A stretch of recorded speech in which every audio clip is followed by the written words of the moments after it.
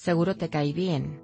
Laura Flores comenzó su carrera en el grupo Hermanos y Amigos, tiempo después se dedicó a la actuación, y gracias a su avance en el escenario, terminó conduciendo varios programas importantes de la televisión mexicana.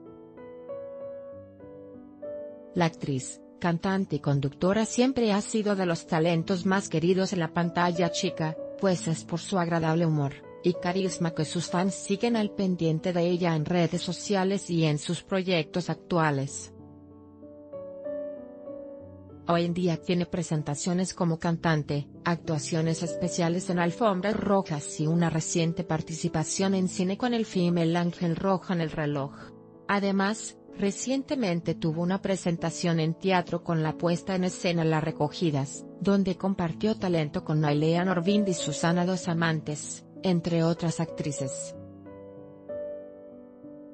De otra cosa que no cabe duda es de lo guapa que sigue, pues a sus 54 años está de lo más saludable, con un lindo rostro y cuerpo bien tonificado.